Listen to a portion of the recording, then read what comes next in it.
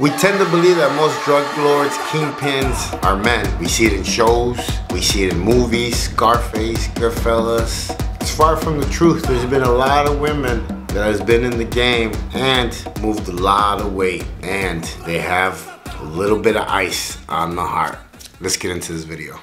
Drugs, money, mansions, and private jets. A myth is being created around the narco culture narco culture has gone mainstream and can be seen in various areas like music, religion, soap operas, fashion, and language. But it's not all the pretty roses people like to see. Join me as I tell you the truth behind cartel life. This is narco culture. Hey, what's up? My name's JC and I am Wrong Strong. If you're new to my channel, make sure you subscribe so you don't miss nothing thumbs up, thumbs down, leave a message.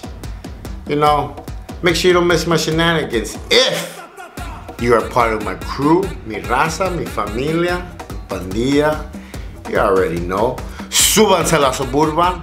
Let's get this show on the road.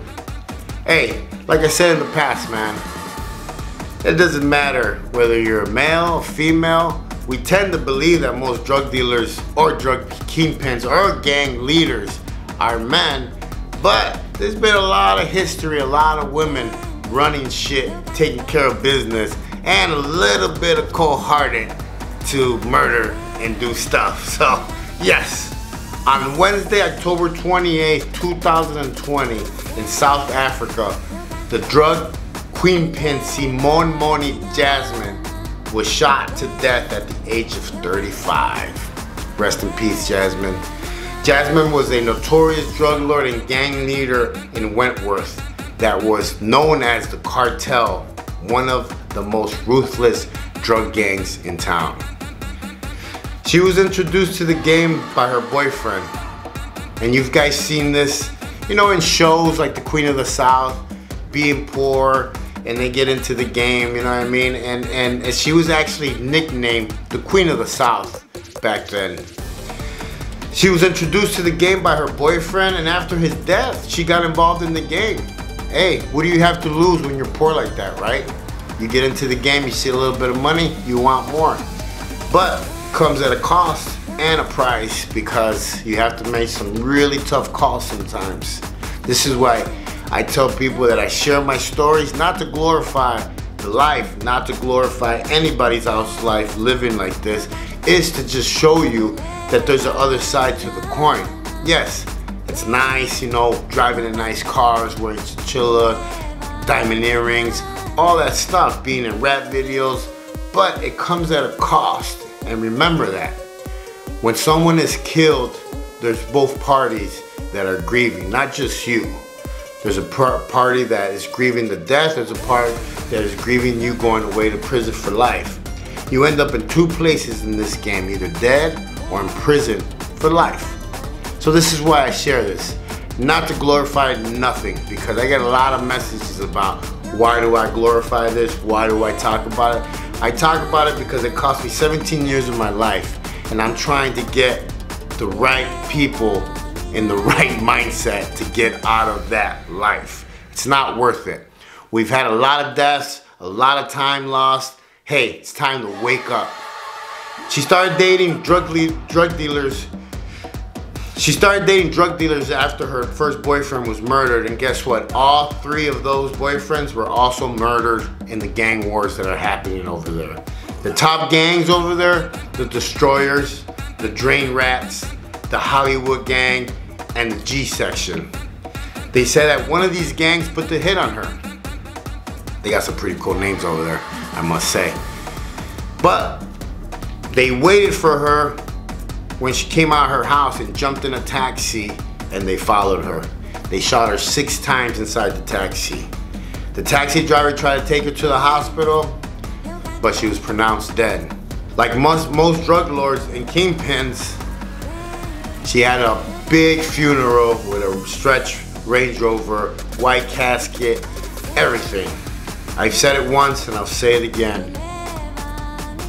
There's nothing in this world that you're gonna be able to take with you when you pass away. And this life leads to two, two places, prison or death. I've known a lot of women in the game from Apatzingán to Chicago to Michigan to Florida that are ruthless, that I myself was afraid.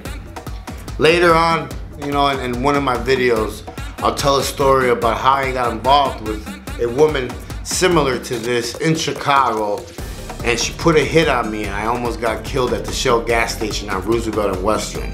If I wouldn't have seen it coming, I would have been dead that day.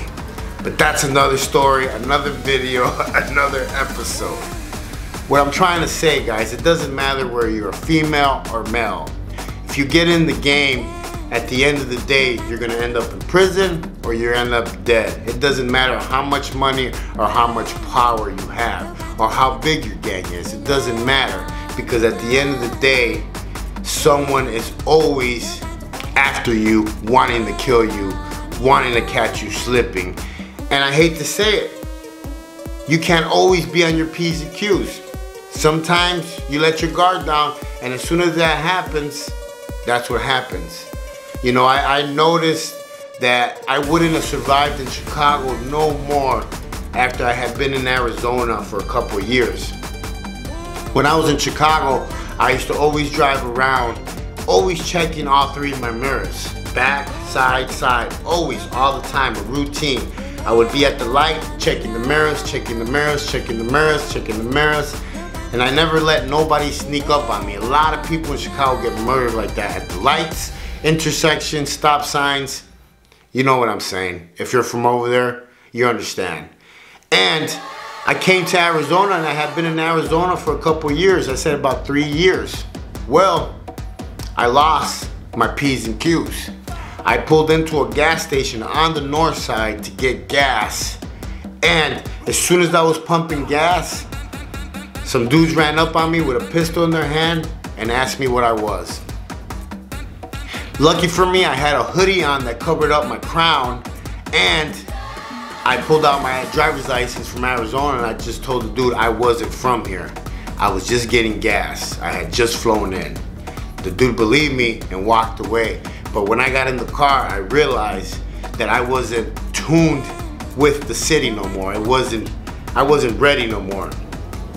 I would have got killed that night if I wouldn't have had that hoodie or if I wouldn't even like, just me pulling into that gas station wasn't a good idea. And that's what happens. You can't always be on your P's and Q's. There's just no, there's no way it get you you get caught slipping one way or another sometime or another. My name's JC. I am Wrong and Strong. Stay your ass out of jail, man. Don't judge nobody. Give somebody a hug. Live savage. And remember, the funeral home is full of tough guys. It ain't worth it, man. Not all the money in the world, not all the power, nothing. It's not worth it. Don't spend your life in prison. Don't spend your life grieving. Stay your ass out of jail. Make your family proud. Make yourself proud. Be a real man. Go to work. Take care of your family. This is JC. I am Wrong Strong. I'll catch you guys